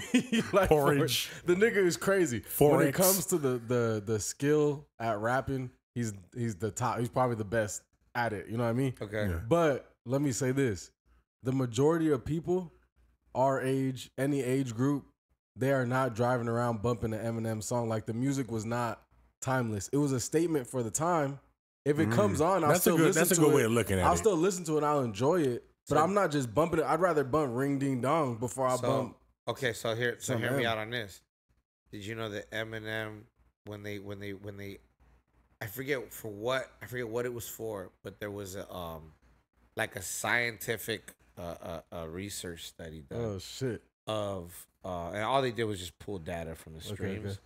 of gamers and what they chose to listen to, and Eminem was like in the top like That's crazy the top three percentile. That's Like he was, if not the most requested artist, the second most requested That's artist crazy. by is gamers crazy, bro. across the world. M is That's crazy. crazy. So I there would've never so that. there is a There's place. a demographic. Yeah, there's a who's- huge Yeah, demographic. let's listen now, to. are we driving around in the Yeah, hood yeah. to it, man? Hell, he has real questionable lyrics. When's the last time you looked this shit up? You're like, you know has what? I want to listen to lyrics, Superman. right? Hey, me and But Smirk, we like- me and but Smirk hold would on, listen to that shit. but the hold show. on. No, hold on. No, we're not gonna do that tomorrow. Fucking Nah, I All fuck right, with it though. I'm not. That man is a legend. I just No, I listened. for the record, I listened to him like last week. That like man the is a whole, legend. I was listening No, for sure. nigga. He's in. My, I'll tell you this. He's in my workout playlist for No, sure. for sure. One of the Till I first, collapse. the one of the first albums I ever bought was Encore. Okay. It was Okay. Get Rich or Die Trying, and then Encore. I- Encore. you Till know, I collapse. Till I collapse is in mine. Um, um, I got a few. No apologies. The way I am. Um, the way sure. I am. That's on my. That's on my workout playlist. Um, a lot of the Eminem show. There was like a Yeah, yeah. pretty good. The white, first- white but- America's a hilarious. that record. that for that sure. first, well, You know no, the saying? second sure. album is almost unskippable to me. Marshall Mathers LP. Yeah, yeah, there's yeah. What's the But- one with the puppets and shit in the video? These niggas are walking and shit. Oh, uh, You know what I'm talking about? Yeah, It's yeah, like yeah. a bunch of soldiers and shit. That was on the Encore album. They had that one. I know what you're talking about. And then they had the one. Um, It was like a, it was like a uh, Dr. Dre production on that yeah, that shit was hard. But yeah, I fuck. I fuck with him. I was just making the point that we Yeah. don't. No, but look, I let think me- I think it's me- just time and a place. Yeah, yeah, yeah. But let me highlight some. I mean, we highlighted it before in this podcast. I don't know if you knew this though, but the another reason why Eminem is the greatest lyricist and artist is because he produced a lot of the Loyal to the Game album. He did. Yeah, he did. He was on it like he was on the, the on that project, and to me, that Loyal to the Game album, Afeni specifically asked him to do it, yeah, and and a lot of those tra- tracks know, were fucking. Rest in peace to that queen, but um, it. I I love that album. Some people told me I only like it because I'm such an Eminem fan. You know what I mean? Yeah, no, that shit. That's But a classic bro. album. He, he the song "Loyal to the Game," like that. Loyal to the game, yeah. That actually Loyal to the game. and then uh, Thugs Get Lonely too. Mm-hmm. That's a crazy. I love that beat. sure. Thugs Get Lonely too is a If hard. I'm not mistaken, That's there a might be some DJ Quik production on that believe, album as I well. I believe there is. I believe there is. Uh, but uh, there was like that song was like a two version song, and I think DJ Quik took that next one, and psh, I forget what song it is, man. But that's what I'm saying. That's why for me, Eminem is like, bro. Think about everything that Eminem has went against, right? Yeah. Like, and then to get No, to produce sure. one of the biggest legends, no, for Yeah. sure. You know. And Like, then, and for the mom to be like, yeah, I wanted to. I be- wanted it to be him. No, Yeah, sure. that's He- that's that's. it speaks it speaks for the type of, and then and then Eminem is the reason we have like the fit like, not reason but he played a big role in Yeah, for 50 sure. shit you know Oh what yeah, I'm he saying did. Yeah, because they, So- they they said that they were scared to sign Yeah. him. So. and he and he took a risk on 50 just like you know Dre did to him And he got there from that hard work, that straight just you feel me, increasing his skill every fucking day. Because like I said, he is one of he is the best probably Yeah. when it comes to rhyming and like. Well, yeah, the, you said like, you said lyricist, so I said who was the first one I said? you said you Nas. you said Nas Yeah, I said Nas, Black oh, Thought, Black Thought, M, yeah. M, right? Just raw lyricism. no, for yeah, sure. yeah yeah That's it. I'm not talking. what about, Jay man because everybody you know what's what do you what, what do you think about Jay-Z, Jay a lot of people Sean put Carter? him number one and shit. Sean Carter? I mean, yeah. I mean, I think. Look, I'm not gonna sit here and say that you're fucking crazy. I think he's overrated a little bit I wouldn't put him at one. I wouldn't put him. At I would one. just say this: he's he's the one thing he's gotten really good at as he's gotten older is really owning his like celebrity. yeah. Like and he like it's like he comes out of the sky and just drops an eight minute verse, tells everybody to fuck off. And he'll be back. yeah for He'll sure be back next sure. year. You know what I'm saying? Yeah. Like, sure. all right, see you guys next year. I'm gonna, you know. So I mean he definitely I has the that whole pull uh, to stop entire the entire rap game is gonna stop. And he For doesn't sure. put the You know? I'm he's not just flexing like I'm rich. He's flexing on the niggas who are saying they're rich. Yeah. He's not just flexing on everybody. He's just He's like, like, I am richer than all the rich guys. yeah, exactly. I have all the money. All the rich No, guys no, are just like we you can't take are nothing broke. away from Jay Z and and and, and No, the type sure. of you know wealth that he's built from No, for being a rapper. You For know sure, what I mean? sure. Legendary. But but like when I think about like his lyrics, I mean, of course you got the classics, you know, Big Pimpin' and like you know all the classics. You got those, but I Did think you just that, say big pimping and lyricism in the same fucking sentence? I mean, that, look, he was dope on the record, but that's not exactly a fucking display of like elite lyrics. Hey, I lo- I it love was that a song, bounce though. record. It was a part. He said the classics like big. No wonder you don't fucking like Jay Z. He's like, well, you know how he did Big Pimpin' fool, like. You know that was the one for me. That's where he peaked. you know, I mean, H I to the like Izzo, little- bro. H to the Izzo, Hard Knock Life. I mean, those are all great. No, the, for sure. the ones Those that are- hit, hit. You feel No, me? for sure. But like, I, there's there's a lot of skippables. 99 problems. There is a lot I of don't know about that. There's a lot of skippables. Is that you? Who's that? the laptop niggas going crazy. Who the fuck is that? I There's a lot of that was. skippables. There's a lot of skippables. What I'm saying. You know, Yeah, I mean, and may maybe. And, hold on. Wait, this nigga shit on me as soon as I said Big Pimpin'. He's like, nigga, you don't know what the fuck. I'm like, well, yeah, if that's the one that you no, want to no, go but with, you feel me? You feel me? Like, There's, I mean, here's. If you listen on the Black album, there's so many displays. I'm just like, oh my goodness. yeah, But even before then, though, you know, he. I don't know, man. I just feel like he he was always like playing the game smarter than a lot of fools. You know, and, and, and just as in older age, you really see it. Now he's just basking in his fucking ambiance. You know what I'm saying?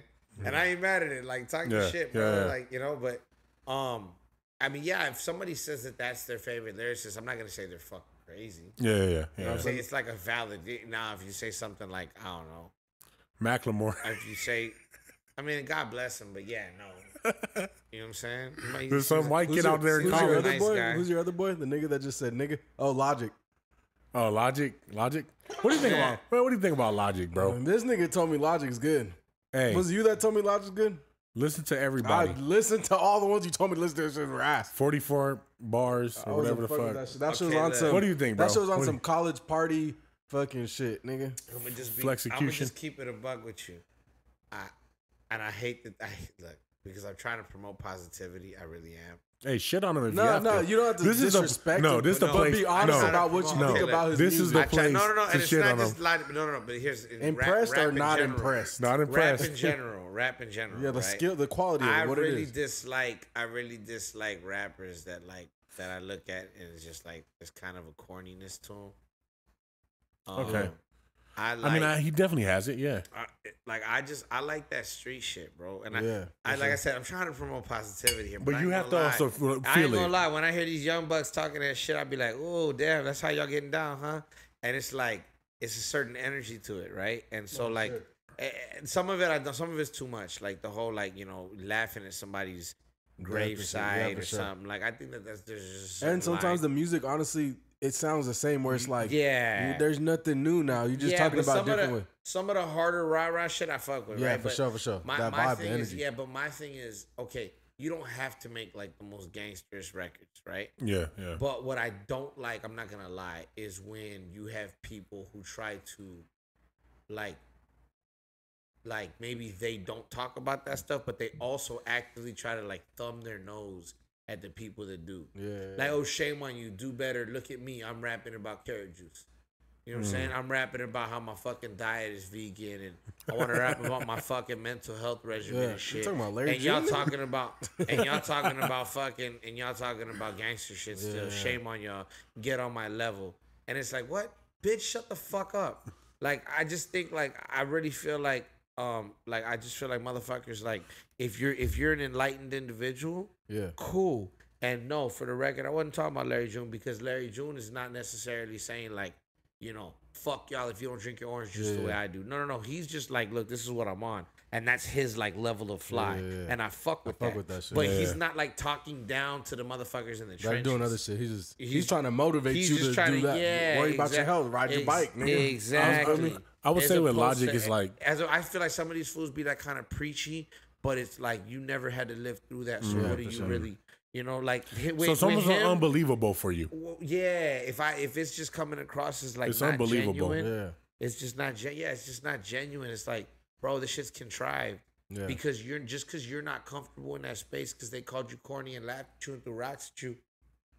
Don't fucking spend your time trying to throw like slight I, little I think I it. think what fucks up. I mean, I'm saying? like what fucks up No, Logic sure. a little bit though is the the fact that he always like wants to like really make it like noticeable that he is black, That he's half black. The thing that gets me and that's the- where people like it kind of fucks up his like you know that what I'm boy saying. whiter than me. Look, The I thing mean, that look, that boy is lighter than me. Dog. That nigga look like Harry Potter? And if he got pulled over in the middle of the night, a He'll cop be would, good. A cop wouldn't go, "Oh, who's this black Yeah, guy no, for right sure. here?" 100%. It's like, shut the fuck the up. thing, Just the thing stop, with Logic bro. though is because honestly, with keep it straight to the music, I don't fuck with the music. It's on some frat boy college shit. Like that's the that's the demographic he was trying to basically entertain and make money off of. Cool, but the thing that fucks me up off the music is that to go from that to straight playing that white boy frat boy shit to now like oh believe me I'm a nigga. You Yeah. feel me? It's like He makes you it very- all that time trying to prove that you were that white boy It, college frat it just boy. it just fucks up his you- you whole feel me? You're trying to- persona. Like, bro, just be you, bro. You know what I'm saying? yeah. Hey, that video was funny as fuck though when he said nigga in front of his dad, and even his dad looked like him, looked at him all like, yeah, like that nigga said, "Be yourself." No cap. He said everybody should just be themselves. straight up did. Right He's straight up did like shit on him. No, for sure. But let me ask you this: Has uh like okay, you you you you you've been working with artists or whatever, you know, but um, let's go to that next level of artist. Like, who is that next artist? Like that next level artist? Where like I gotta like I want to work with this person. Man, who's that next level artist? It's like I need to work with Hez. Exactly. Not, nah, No, no, real shit, real That's, shit. that- Hey. that's that real. That's that real fucking not answering the question. And a, a dick can't wait. That's that Lil Wayne. That right? This nigga busts out of the freestyle right, Right. after. My competition ain't nothing. It's repetition. It's no, what I would say, what I would say is, Like who? uh, who's a dream artist, man? Who you want to work with, man? man, I'm trying to think. I think it's more producers. Like I got a hit list, man. I was gonna would- ask you would- both of them. So I would love to work with like uh, Primo. I would love to work with Hit Boy. I would love to work with. Imagine a with Hit Boy Dre. or Primo album with this nigga. I'd love to work Going with Dre. crazy. Like I would love to work with Quik. You know what I mean? That that, Yeah. that interaction I had with him was super dope. you Yeah. on those I'd love to West Coast beats Quik. is crazy. Honestly, Yeah, I think would you love to murder work any with of 'em. Quik, um, sure. you know, um, that would be awesome. You know, um, you know, um, um, uh, Battle Cat. You know what I'm saying? Yeah, Battle Um, Cat for you know, sure. Battle Cat. Even like uh, Won't, won't, won't. like Daz. won't, I won't. think Daz gets slept on. You know what I'm saying? Yeah, yeah, he does. He does. Daz gets slept on. I mean, he did America, uh, Ambitionz Az a Ridah or some shit exactly. like that. He did. Yeah, and then and then obviously, you know, obviously, like yes, like a Pharrell, you know, the, or the Neptunes. You know Oh, what I'm yeah, saying? yeah, You know, yeah, whatever. yeah. Um, uh, obviously, you know what Yeah. I'm saying? Somebody like that, somebody like a Timbaland. Let me give you the top. Let me give you real quick the top three uh, producers: Timbo, Dre, Kanye. this nigga loves Timbo. That's his So boy. so so so Timbo's dope. I think I'm gonna say Dre. I'm gonna say Dre. But damn, the album never ne- might never like we never might see that shit with I'm, Dre. I'm gonna say Dre. I'm gonna say Primo. yeah. Primo will go. psst, I can imagine this nigga on some Primo beats. You might And just have to get his attention. And Quik, and Quik, because we got to really start putting some respect on that man's name. Quik, yeah. No, He's sure. so Dre, slept Dre, on, bro. Quik, and Primo. That's my three. No, okay, sure. okay. That's my three. Yeah. So we went through the top. You, you did you give us a top three for the for the for the artists? Um, I'm No, more but fun, those like were I said, He I'm said more- Marshall. He He said said lyricist. Okay. Yeah, I said, I said, yeah, I said, I said, uh, uh, uh who the fuck, who was my first one? Nas, Nas. Nas, yeah, there Nas. we go. Nas, Black Thought. Yeah, Nas. What do you think Thought, about Nas linking up with like Damian? How was that shit? I like Damian that Marley. shit. I like that. Patience is one of like you remember that song Patience? I, it introduced me to Damian Marley like in a real way. Yeah. And like I like I like ah man, that fool be talking that shit. I like Life? You ever Speak Life? music, bro. Like I like street music. You know Okay, You know what. I'm saying? Like I like that. Like he talks that he's Yeah. talking his struggle from his island, from his Yeah, yeah. from his blocks, from his from his perspective. yeah. And you can hear it. You're like, yeah, this is really a man of the people. Like and he's for the Yeah, people. Speak Life. You ever heard that shit? You Speak know what I'm saying? Life? Nah. Who's it, who's, what is it? Uh Damian Marley. is it Damian Marley? It's called Speak Life. It's it's like honestly, bro. It's like he said, like it's like talking to the people. It's like it's almost like uplifting. It's like struggle. You feel me? Let me ask you this: Fire. When it comes to Drake, where does Drake stand for you? Yeah, I really want to top know that. I want to know that. You feel me? Like, what is what is Drake? Because like Drake is another one. It's like love. Like a lot of people love him, but a lot of people And, hate him. and because you said you like the street music, but also I know you're like more deep into the history of music. But we all, if you if we're honest, you got to be honest. Drake is one. Of, he's top top three artists when it comes to like ever. when it comes to the entertainment business, or just you just think like I mean, technically, general? he's a rapper who harmonizes. He has some R and B albums, but he's Yeah. he's a rapper who harmonizes. I mean, I'm a I, I like Drake a lot. Like, I think he's a really. There's nothing this man can't do, man. We No, talked sure. about it last. We've been talking about it. So, like, Um, where's- yeah, where's he at with I you think top that- artists? I think that he understands how to be uh, an entertainer probably better than almost anybody, right? Yeah, right. Yeah. He's had this long of like a, a, a relevance that, that you know, he, this long of having a relevance, Switching right? styles. Yeah, being Yeah. being relevant Mhm. this long, and um, there's no way that that's easy. I don't care what anybody says. So like you could To be that consistent, yeah, and shit. th- th- just because like I, I can't have miss like, and shit. I have like a It's little, like Steph Curry. I've never heard a bad song. I well, I have a little bit of, of experience with it now, right? Having been Yeah. just consistent with forty ounce, and that's not like half of what this fool's doing in terms of like brand partnerships and traveling all over the world, and Yeah. You know, jumping on all these features and doing all this shit, right? But I know a little bit about what it takes to be consistent. yeah, So when you're consistent that long at that high of a level, like I'm sorry, you're not getting lucky. You might be able to get lucky once, twice, even three oh, times. Oh yeah. You could get lucky. Like you can literally do everything wrong, and the, the, the song just be so hot that it just goes just for you. Yeah. and you just get lucky, right? And you might be able to pull it off a second and even a third time, but eventually you're gonna get in your own way, Yeah, for sure. and you're gonna you're gonna fuck it off. And Fall his off shit's And you're gonna, and you're gonna he, this His dude shit is is fucking we're talking different sounds, different eras. You know what Yeah. I'm saying? um, Dance running hall, his own show. Spanish. Yeah, yeah. So, so you gotta, yeah. So you gotta give it to that man. Period. I don't know Yeah. where I would put him. I don't know, because I feel like that. I feel like he's still trying to drop new shit. Yeah, for sure. He's, so I feel like his story, like, I, and I think he said that in interviews. Like his story's not even done. Yeah, He's like, wait yeah. until I'm like just being lathered up on a fucking island somewhere, Yeah, yeah. chilling. And He's I, like I- the best has yet to even come. You good know? for him. You know, Yeah, so, so. I would say that.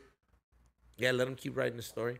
I'm not saying this. I'm not a fucking Drake hater. Yeah, like, for nah, sure. that shit's yeah, weird. to me. yeah, yeah. Like, if you can't objectively be like, yeah, the dude's got good music, you're fucking weird. yeah, there's a lot of That's people who don't fuck with That's it. You feel me? that's weird though. That's like, I feel like you're. I think try- with I feel like you're with any person. trying to be mad Yeah. about something. I was just wondering what It's you thought about the quality of the music yeah, I because you're think it's- very I think it's particular. great. yeah, I think I think it's good. you're very particular. Like I don't listen to all of it, right? I don't listen to all of it, like just because like I don't listen to hardly anything. Yeah.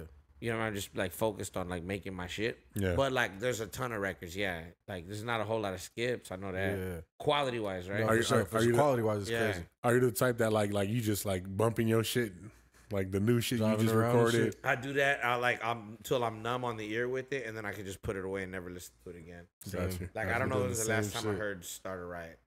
You know what I'm saying? I don't know listened- when's I like listened to all it the the way other through. day.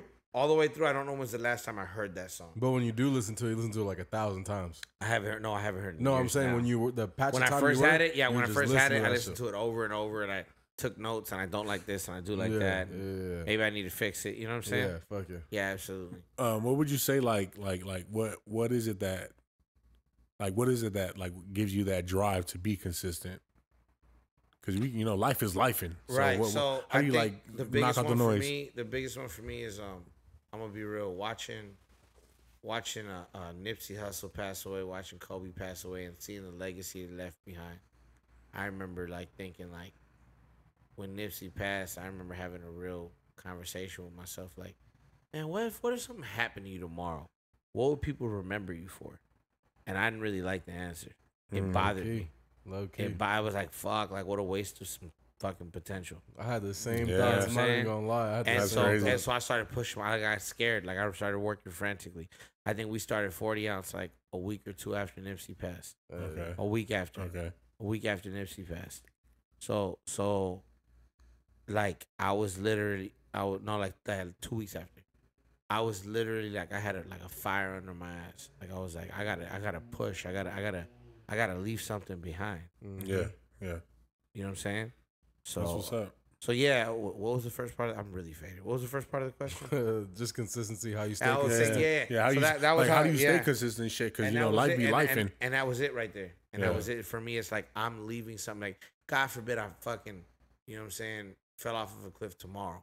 Yeah. You know, my thing is like people could go back through my page and they could like sit there and listen to all these raps and be like, wow, he really loved this shit. Yeah. yeah. Like if nothing else, like this motherfucker rap.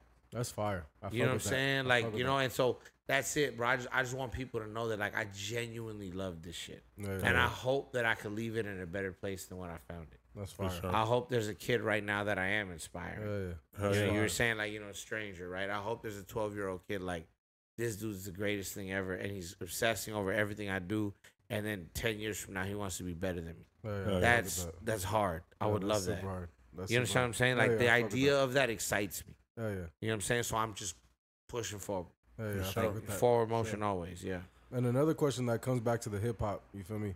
Um, so like you got a lot of people going crazy on the East Coast, a lot of people coming out of Atlanta, you feel me? A lot of Mhm. people blowing up and shit. So my question is like, I feel like the West Coast, we don't got a lot of people coming with the quote unquote West Coast sound. Sure. The people from the West Coast that are blowing up are the people that you don't even really are know from the West Coast, like Roddy Ricch, Yeah. Tyler the Creator, like Yeah. these are the people that are blown up. Besides, like maybe like Blueface, and that's what I mean. Like when I mean blown up, I mean like you could listen to him anywhere in the U.S. You'll catch him. You feel me? Why do you think that like that West Coast sound, quote unquote, isn't like doing what it should be doing all around the country? Well, I think I think more than anything, I think is what. Okay, are you saying when you say West Coast sound? Are we like okay? Is it G Funk or Like is it like G-Funk sound, like, is is it it like the is it Drake? the rolling or is it the rolling 808s with a skip beat like mustard? Right. So so so so this is what I would say to that. Both of those worked, right? yeah. Okay, Tyler's working, right? Um, Roddy's working, right? Yeah. It's just good music. No, for So sure. the, the, the, the now there's gonna be certain themes that even like Roddy being, you know, he's from wherever he's from, he's still gonna have certain themes in his music, Mhm. and that's gonna give you that West Coast. Oh, okay, yeah. Yeah, either yeah, you from the yeah, yeah, or you so like for him to say that, like, Yeah. okay, yeah, he is gangbanging Yeah. allegedly, whatever, right? So I think that that's gonna leak through anyways. It's like it doesn't necessarily have to sound, you know, like a, a Zapp and Roger sample. You know what I'm Yeah, saying? yeah, And I think the, the quote unquote West Coast sound, the last person to be like that is probably like a YG. Yeah, I, I would say so, Blueface. but but if you listen to YG and then you listen to like the game or Snoop, sonically Oh, completely for sure, different. for so sure, he had but- taken the, he had taken the sound in another place. But YG, you're still getting those samples sometimes. You're still getting Sure, them Dre samples and, then- shit in the background. and then you but then you look at like a Kendrick. Yeah, for sure. Right, you're And like, that's not really West Coast at all. What the f- Exactly. And, And that's, he's the that's biggest what's hot. in the game. Exactly. So, exactly. Yeah, so I yeah, would yeah. say that I think that's I, very true. I think it's just about making the best music possible. I think too many people get caught up in that, in that sound, trying And to stay in that. trying to stay in that, or trying to be like, oh well, they're not feeling us because we're from the west. No, just make good music. no, for sure. Just shut the fuck up. Just and- focus on the music. No, Focus. Roddy, on the because music. Roddy, he's out of here, No, for right? sure. Out of here. Tyler, out of Outta here, here. right? And they subscribe to none of that shit. Yeah. They just made the best music possible. They fed their fan base and they said, fuck the haters. Yeah. You know what I'm saying? And what if Roddy was like concerned, like, oh man, they said I sound like an, an Atlanta fool. I should switch it up. Let me jump mm. on a G Funk beat. No, for What if Tyler was like, damn, you know what? I'm gonna start wearing khakis. I'm gonna crease them. yeah. Like, you know I'm saying? damn, like, Yeah. you know what? I'm I'm fucking up. That'd be detrimental You know, for you know what sure. I'm saying? So you just gotta. I think you just gotta be hundred percent you, and I think you just gotta embrace what you because it also shows that the West Coast, Southern California, is an eclectic and diverse place. No, for sure. We're not all running around trying to kill each other. That is not the case at all. No, for sure. You know what I'm saying? I Yeah. think that I think that you know street culture and gang culture kind of permeate a lot of things out here. Yeah, You know what I'm saying? So I think you know even uh, uh, somebody who is not you know well versed in that area will still have certain knowledge of stuff. Yeah. You know, but but you know, and they might go elsewhere and seem like a gang expert. I guess you know what I'm saying. Mhm. But ultimately, you got gang plenty of people like diff- not everybody's running around gang banging in Southern yeah, for sure. Yeah, yeah. You know what I'm saying? You have a lot of people that are not. You know what I'm saying? It's, and it's insulting to them to just get painted with that. Yeah. Like, it's like, It's kinda oh, like- do you gang kinda bang? put Like, no, into I a go to box. fucking Cal Poly. Like, Yeah. you Put you in a box. and You know what I'm saying? Do you sure. gang bang? Go to fucking CSUN. Fuck Yeah. you. You know what I'm saying? Yeah, yeah, yeah. Like the people are like, wait, what? You know, so so I would say that I would say that there, to me there, there should be no such thing. Even though obviously like G Funk or like that rolling 808 with a skip beat Yeah. shit in it.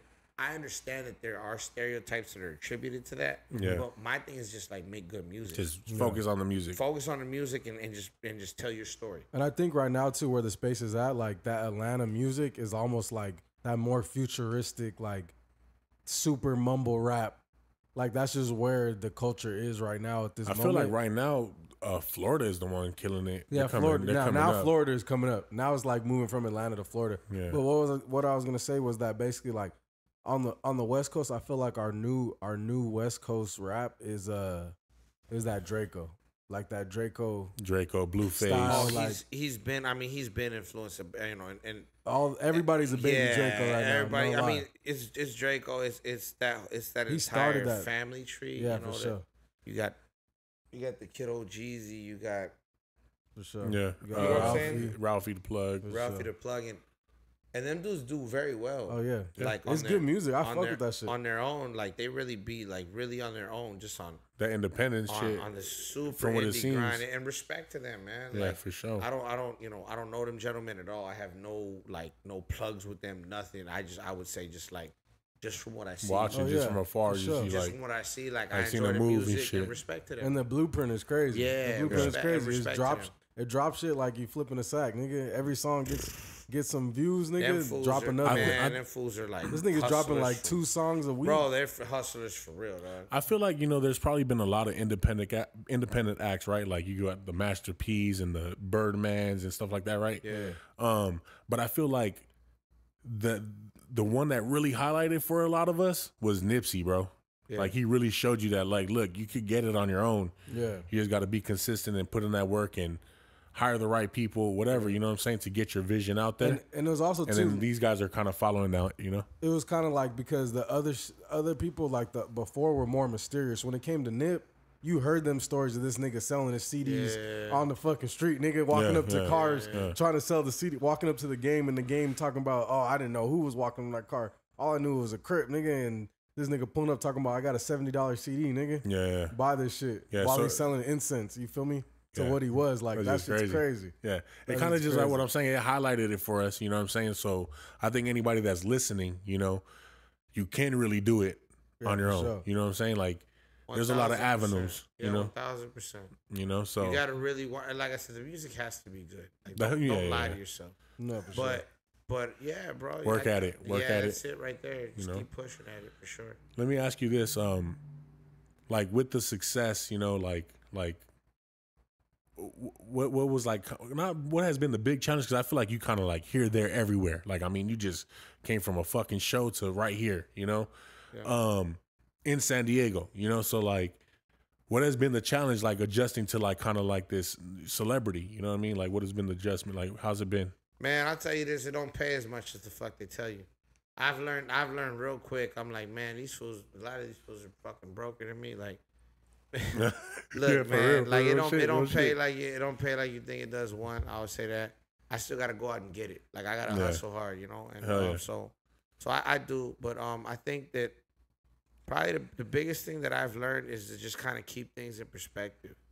Like, don't let your head like kind of run away with itself, and don't like, like, bro, you you you know could be the hottest shit today, and you could be cold as ice tomorrow. And then five years from now, they could dust off some shit that you liked, and all of a sudden you're hot Mhm. again. You just gotta learn to kind of kind of keep a level head, and like no matter what's going on, don't um don't you know don't allow yourself to get like too high or too low. I think you should always walk with your head held high. I think you should always have a supreme self-belief.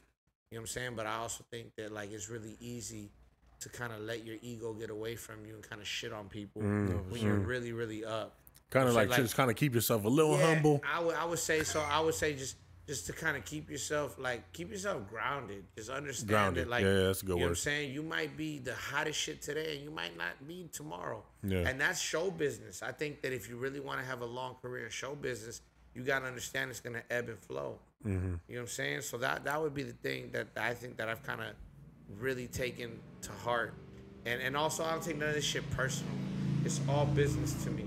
Mm-hmm. Like respectfully, ain't none of these motherfuckers my friends. Yeah. Like the way I look at it, right? Like I've made some good relationships that like I, I have like where, where there's like nothing in it for me to gain or nothing in it for them to gain, and we're like doing favors for each other, Yeah. just on some friendship shit, right? Yeah. But aside from that, I, the way I look at it with everybody is like, look, man, Like we're in this, business we're in this bit. entertainment business. We're colleagues.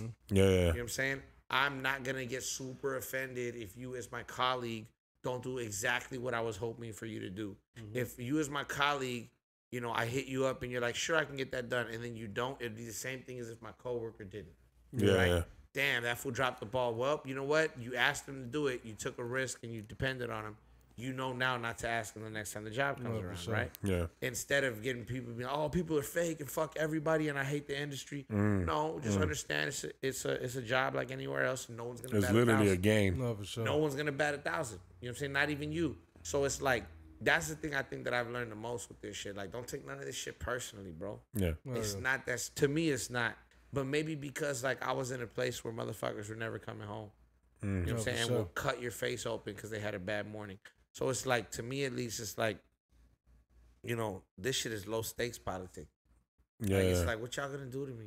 No, Gotcha. Well, oh, I'm gonna have to go work a fucking day job again. Like okay, yeah. yeah. Yeah. like you understand what I'm saying? Like I've been in the Like, grind yeah, like, I don't give a regardless. fuck. Yeah, I don't give a fuck. Like, so I just look at it like I just look at it. You know, I just kind of approach everybody. I treat everybody with respect. Uh, you know, I give everybody the respect. You know, as, as a man and as a woman. You know, and and uh, you know, treat people how I want to be treated. You know what I'm saying? Yeah. And uh, try not to get too too Too high big-headed and myself shit. too low on myself. You know what I'm saying? Gotcha. I think that's that's the main thing. Kind of you know, forward motion only. For sure. Yeah. What would you say? Uh, uh, uh, um, what's next for you, man? Like, like, what do you got? What do you got coming out? What's what's next for you?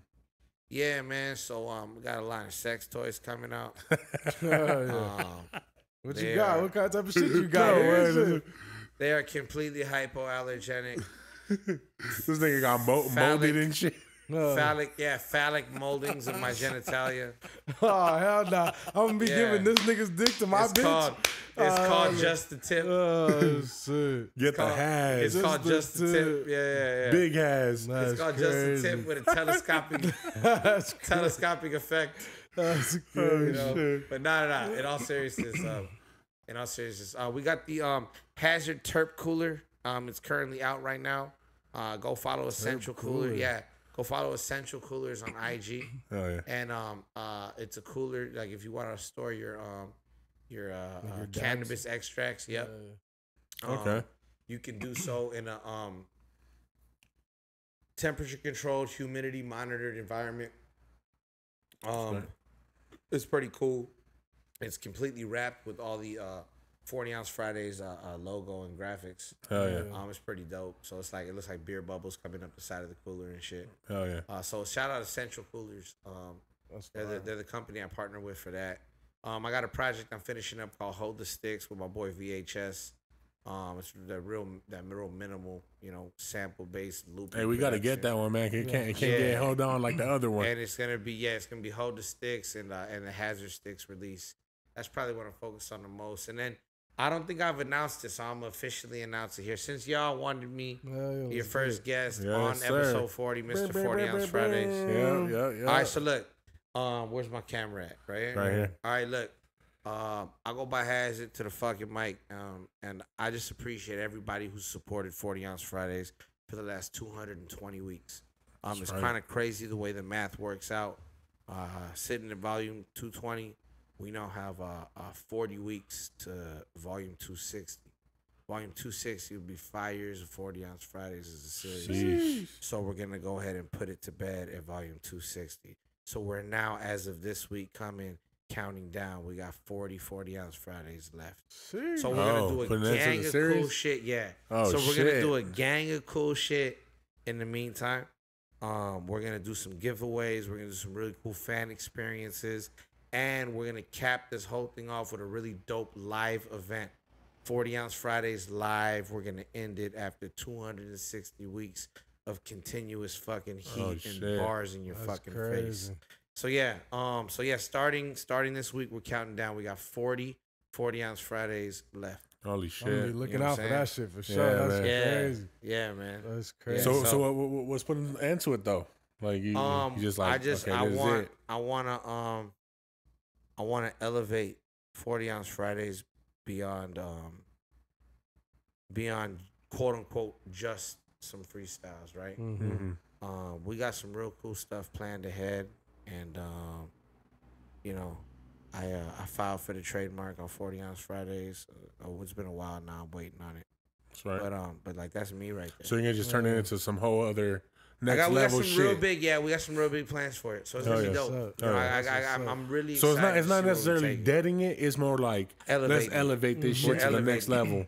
We're Okay. elevating. And That's you heard right. here T first. minus- That's right. Not T minus impressed, man. 40 Not weeks. impressed podcast, You know what I'm man. saying? About Forty yeah. more episodes. I'm gonna be watching that shit. For yeah, sure. you know what I'm saying? So we got It's like 40 more volumes, baby. that's right. That's right. Hey, so everybody out there, you feel me? Go tap in with this nigga. Go to I'm a Hazerd Yeah. on Instagram.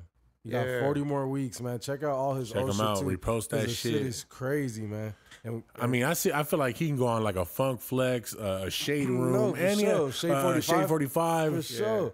Uh, and bro, shade room too, said- and when- shade room too. Bro, man. when I said I put this nigga in the top five freestylers, Hey, bro, I, I I don't see it, why dog. not. Honestly, Yeah, I appreciate like the shit you, is bro. I mean, because. I'm like even Thank stacking it against like a J Cole. Like I'm like no, for I sure. can see him going like toe to toe. No, You for feel sure. me? It's like that shit motivates me to write. I'm not Yeah. gonna lie. Man, that thanks, shit's bro. motivated me plenty times to be like, Yeah, yeah. oh yeah, like this nigga's consistent. like he's going shit, there. like, I got to do this. Oh yeah, that like he did it just off of just consistency and fucking having skill and keep going. Like Yeah, and how yeah. we were talking earlier too. Like you got to put out good music, and it's Right. not and, and it is consistency and good music.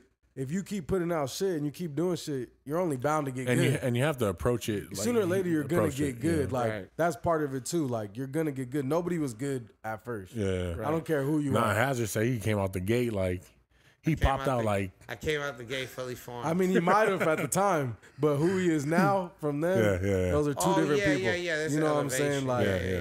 yeah. and and you couldn't you probably wouldn't be able to do the same 240 40 ounce freestyles when you first did it at 16. You know what I mean? Yeah, Like, yeah. Well, you could have, kind it kind of molded you to you that. could have, but it wouldn't have been the same quality Right, that you're right, putting right. it out now. Yeah, Nah, I yeah, understand what you're saying. for sure. Everything Yeah. takes Yeah, man. time. Yeah. You got anything else, bro? You want to? Nah, man. I just, has? I just Yeah. want to say I really appreciate you, bro, for sure. for Man, having thanks me. for man. having. I am zoomed in. No, Bro, Episode y'all for 40, you feel me, me? man. Hey, bro, good looking Episode out, bro. 40. Absolutely. Are you Tap kidding in me? with my boy, you feel me? This is uh, the, you, the dog. You first for real. episode with the guest, you feel me? We're gonna keep doing this and shit. We We're gonna, setting trends, motherfuckers. you feel me? hey, and that's another one, man. Tap in Episode with forty, man. Yeah.